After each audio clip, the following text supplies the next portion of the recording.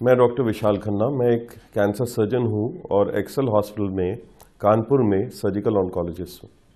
आज हम लोग ब्रेस्ट कैंसर के बारे में बात करेंगे। धीरे धीरे क्या हो रहा है कि हम लोग पाश्चात्य संस्कृति को अडॉप्ट कर रहे हैं। ये देखा गया है कि कम से कम शहरों में स्तन कैंसर बहुत तेज़ी से बढ़ रहा है। इसका एक कारण है। कारण ये है कि एक तो हम लोगों में बढ़ती उम्र के साथ महिलाओं में स्तन कैंसर ज़्यादा देखा जा रहा है। दूसरा जो बच्चियाँ हैं, उनमें पीरियड्स जल्दी शुरू हो रहे हैं। इसको कहते हैं अर्ली मिनार के। और ये लंबे समय तक चलते हैं, माने रजोनिवृत्ति या मीनोपॉज लेट होता है। तो इसकी वजह से टोटल रिप्रोडक्टिव पीरियड बढ़ जाता है और स्तन कैंसर की संभावनाएँ भी बढ़ जाती हैं। ये भी देखा गया है कि कुछ महिलाएँ रजो निवृत्ति या मीनोपॉज के बाद हार्मोन रिप्लेसमेंट थेरेपी लेती हैं। हार्मोन रिप्लेसमेंट थेरेपी से भी स्तन कैंसर की संभावनाएँ बढ़ जाती हैं। वज़न के बढ़ने के साथ ओबेसिटी के साथ लैक ऑफ़ एक्सरसाइज व्यायाम न करना, इन सबसे भी स्तन कैंसर की संभावनाएँ बढ़ती हैं। कुछ केसेस में स्तन कैंसर अनुवांशिक भी होता है, यानी ये देखा जाता है कि किसी एक परिवार में माताओं से बेटियों को या बेटों को स्तन कैंसर आगे ट्रांसमिट होता है। स्तन कैंसर के लक्षणों में स्तन में गांठ होना एक मुख्य लक्षण है।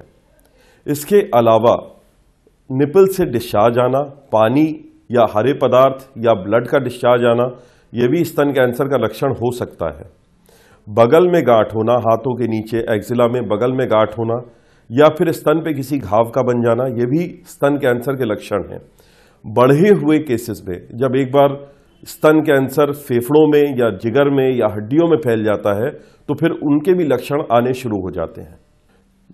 देखिए, मैंने एक चीज़ देखी है। मेरे पास बहुत सी महिलाएँ आती हैं जो स्तन कैंसर बढ़ी हुई अवस्था में लेने, लेकर आती हैं, स्टेज थ्री या स्टेज फोर में। और पूछने पर यह पता चलता है कि वो स्तन की गांठ के लिए ऑल्टरनेटिव मेडिसिन ले रही थी और उन्हें यह बताया गया कि इस दवा से गांठ गल जाएगी। ये सच नहीं है, स्तन कैंसर की गांठ इस प्रकार गलती नहीं है। अगर आपके स्तन में कोई भी गांठ आई है तो कृपया उसका एक एफएनएसी टेस्ट कराकर और उसका एक मैमोग्राफी या अल्ट्रासाउंड सोनोमैमोग्राफी कराकर कृपया ये निश्चित कर लें कि एक गांठ, स्तन कैंसर की गांठ नहीं है। देखिए, स्तन कैंसर की डायग्नोसिस के लिए जो प्रमुख विधियाँ हैं, उसमें एक मैमोग्राफी है सोनोमैमोग्राफी है एमआरआई है, स्तन का एमआरआई किया जाता है, पेट का अल्ट्रासाउंड किया जाता है या पेट का और छाती का सीटी स्कैन करके देखा जाता है। इसके अलावा शरीर में स्तन कैंसर फैला है या नहीं, ये जानने के लिए बोन स्कैन जाँच और पेट जाँच, पेट सीटी स्कैन जाँच भी करी जाती है। डायग्नोसिस को एस्टैब्लिश करने के लिए एफएनएसी किया जा सकता है, जहाँ एक पतली सी सुई स्तन की गांठ में लगाकर पानी को खींचकर खुर्दबीन के नीचे देखा जाता है, कैंसर के सेलों के लिए, इसे एफ़ कहते हैं, या फिर एक कोर नीडल के द्वारा एक बायोप्सी करी जा सकती है। देखिए, स्तन कैंसर के उपचार के बारे में बात करने से पहले ये ज़रूरी है कि हम लोग ये जान लें कि स्तन कैंसर की स्टेजेस क्या हैं। तो स्तन कैंसर की स्टेजेस में हम लोग चार स्टेज मानते हैं, stage one, stage two, stage three और स्टेज फोर। स्टेज वन और स्टेज टू हम एक साथ इनको ऑपरेबल ब्रेस्ट कैंसर कहते हैं। इसमें जो उपचार की प्रमुख विधि है, वो सर्जरी है और उस सर्जरी के बाद कीमोथेरेपी हार्मोन थेरेपी रेडियोथेरेपी इत्यादि से उपचार किया जाता है।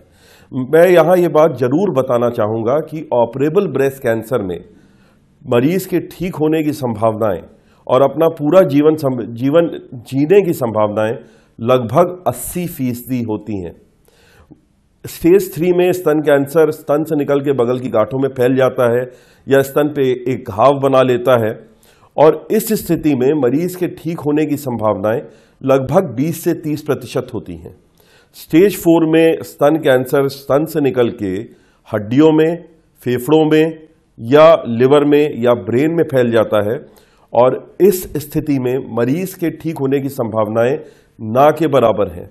तो ये ध्यान रखने योग्य बात है कि अगर स्टेज फोर में स्तन कैंसर आया है तो उद्देश्य, इलाज का उद्देश्य केवल मरीज़ को तकलीफों से मुक्ति दिलाना और उसकी जीवन अवधि को बढ़ाना है।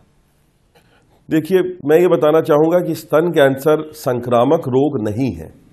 ये ज़रूर देखा गया है कि कुछ महिलाओं में या कुछ परिवारों में ये देखा गया है कि परिवार की कई महिलाएँ एक के बाद एक, यानी अगर आप एक मरीज़ देखेंगे और आप हिस्ट्री लें तो आपको पता चलेगा कि उसकी माँ को या उसकी मासी को भी स्तन कैंसर रहा है या उसकी नानी को भी स्तन कैंसर रहा है।